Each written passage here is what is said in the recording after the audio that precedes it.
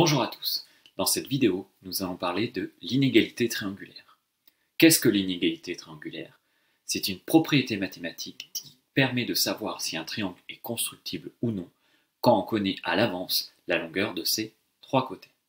Et on commence tout de suite. Donc, vous avez pu voir s'afficher ici un triangle avec un côté bleu, un côté rouge et un côté vert. J'ai tracé un triangle dont le plus grand côté ici est 20, c'est la longueur verte, et les deux plus petits côtés, un en bleu de longueur 10, un en rouge de longueur 12.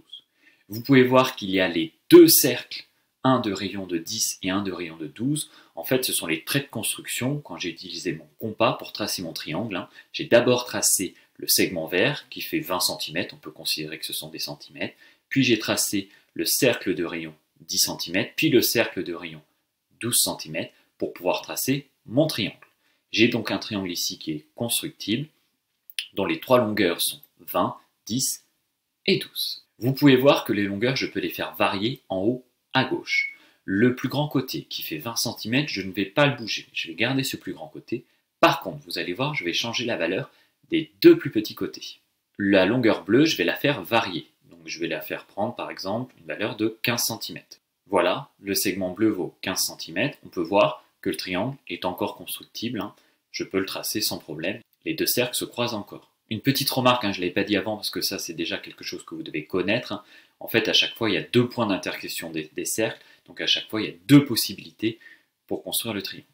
Je continue à faire varier la longueur bleue. Et cette fois-ci, je vais prendre 5 cm. Ah, cette fois-ci, le triangle ici n'est pas constructible. En effet, je le vois, les deux cercles, un de rayon 12 cm et l'autre de rayon 5 cm, ne se croisent pas. Donc c'est pas possible de construire le triangle. Donc un triangle dont une des longueurs vaut 20, l'autre vaut 5 et l'autre vaut 12 n'est pas constructible. Je vais faire varier maintenant la longueur rouge. Je vais lui faire prendre la valeur 16 cm. Ah, cette fois-ci, le triangle est constructible. On peut remarquer que les deux cercles se croisent à nouveau, donc en deux points. Donc à nouveau ici, je choisis un des deux points pour tracer mon triangle, et le triangle est possible. Est-ce que vous commencez à comprendre pour quelles conditions le triangle est constructible? En fait, ce qu'il faut remarquer, c'est que si la longueur bleue plus la longueur rouge, donc les deux additionnés, donne un résultat plus grand que la longueur verte, c'est-à-dire le plus grand côté, alors les deux cercles vont pouvoir se croiser et alors le triangle est constructible. Exemple ici, 16 plus 5, ça fait 21. Donc, comme 21 est plus grand que 20, qui était le plus grand côté des triangles, le triangle est constructible. Par contre, si je change la longueur rouge et qu'elle devient 13, alors les deux cercles ne se croisent pas et le triangle n'est pas constructible, puisqu'en fait, si j'additionne les deux plus petits côtés, donc si je fais la longueur bleue plus la longueur rouge, 5 plus 13, ça fait 18. Or, 18 est plus petit que 20, donc le triangle n'est pas constructible. Et en fait, c'est ça l'inégalité triangulaire, c'est de voir que si la somme des deux plus petits côtés est supérieure à la longueur du troisième côté, alors le triangle est constructible. Vous allez dire, et dans le cas de l'égalité? Alors c'est un petit cas particulier, je vais vous montrer. Donc voilà un exemple où quand j'additionne les deux plus petits côtés, 5 plus 15, ça fait 20, ça donne pile poil la longueur du plus grand côté. Dans ce cas-là, vous pouvez voir que les points sont alignés. Alors de manière pas très rigoureuse, mais plutôt imagée, on peut dire que le triangle ici est plat. Donc voilà pour ce petit cas particulier. Je peux donc noter la propriété de l'inégalité triangulaire qui est un triangle est constructible si la somme des longueurs des deux plus petits côtés est supérieure à la longueur du troisième côté.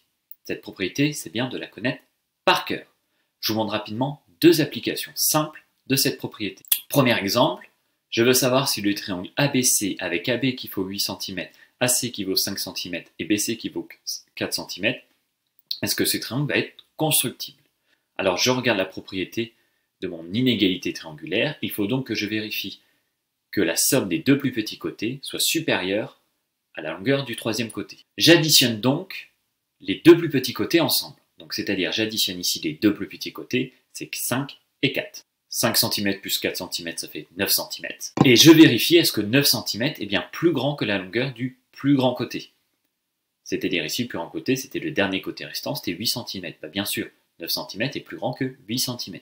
Je peux donc conclure que le triangle est constructible, et si je veux, je peux me lancer à faire la construction, ça va fonctionner.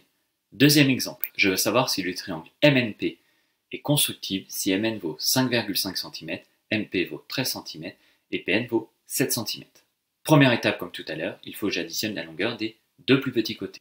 Ici, les deux plus petits côtés sont MN 5,5 cm et PN 7 cm. Je trouve quand j'additionne ces deux plus petits côtés que ça fait 12,5 cm. Je remarque que cette fois-ci, le plus grand côté valant 13 cm, le plus grand côté est supérieur à la somme des deux plus petits côtés. Parce que là, c'est fait 12,5 cm et le plus grand côté vaut 13 cm. Du coup, ici, je vais pouvoir dire que le triangle n'est pas constructible. Ça veut dire qu'ici, si jamais je me lance dans sa réalisation, les deux cercles ne vont pas se croiser. Donc je ne pourrai pas le construire. Voilà, j'espère que vous avez compris cette propriété de l'inégalité triangulaire qui n'est pas très compliquée, et je vous souhaite bon courage.